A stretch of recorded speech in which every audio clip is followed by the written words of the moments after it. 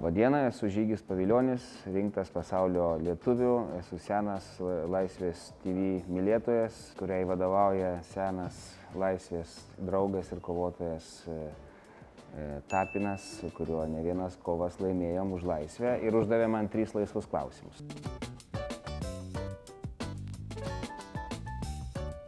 Na, sesė ir broliai, broliai turi tėvą ir motiną. Tai man svarbiausia yra Lietuva, vis, visos šalis, kurios Lietuvą myli, kuriuose yra lietuviai, kurios nori suvienyti e, ir apjungti ir artėjančiame referendume, taip pat visos šalis, kurios kovoja toje pačioje e, barikadų pusėje už laisvę, yra mano sesės ir broliai. Tokių yra labai daug, bet mūsų gentis mažėja, nes autokratijos eina į priekį, jos vienijasi, nori tą laisvę iš mūsų atimti, mes esame tos laisvės fronto linija, todėl džiugu, kad yra laisvės televizija.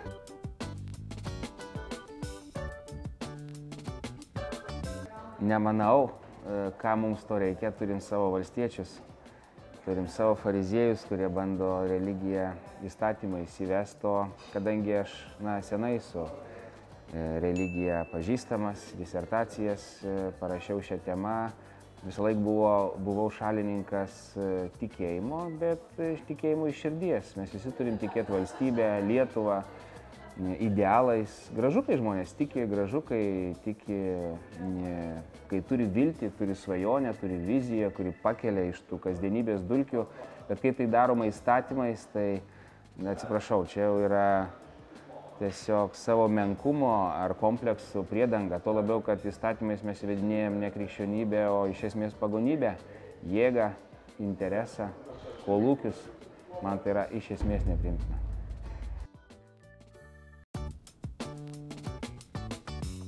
Na, kalbant apie nuodėmės politikoje, visą laiką prieš akis iškyla turbūt viena iš mėgstamiausių mano knygų, Šventas Augustinas, ketvirtas amžius išpažintis.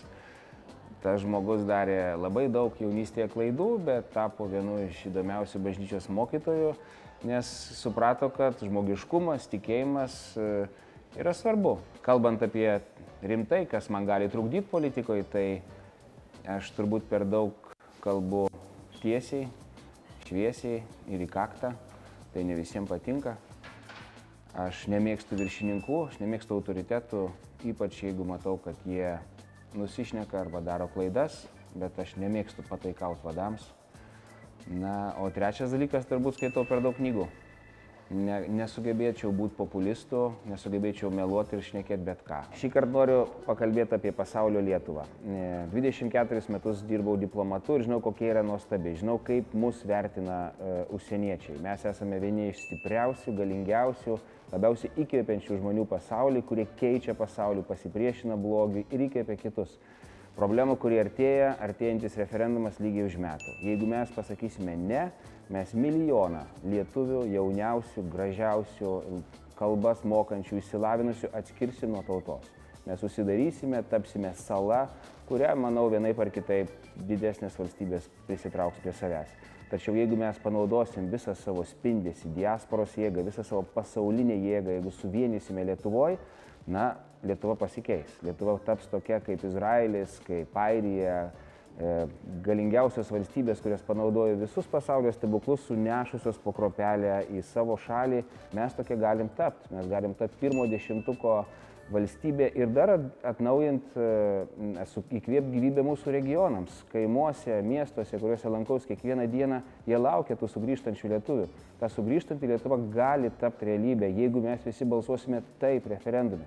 Referendume dėl pilietybės išlaikymo, dėl gebėjimo mums sutelkti visas tautos jėgas, mes turime balsuoti taip. Ne, jeigu jūs esat kairė, dešinė, geltoni, žali, raudoni, neįdomu. Mėgstat politikus, nekenčiant jų, bet tai yra paskutinis šansas mums susivienyti. Tai buvo pirmas mano interviu Laisvės TV, kurią nuoširdžiai myliu, mūsų vienyje laisvė, esame vienoje barikadų pusėje. Lauksiu jūsų klausimų, būsiu su jumis, kovosim už laisvę. Iki.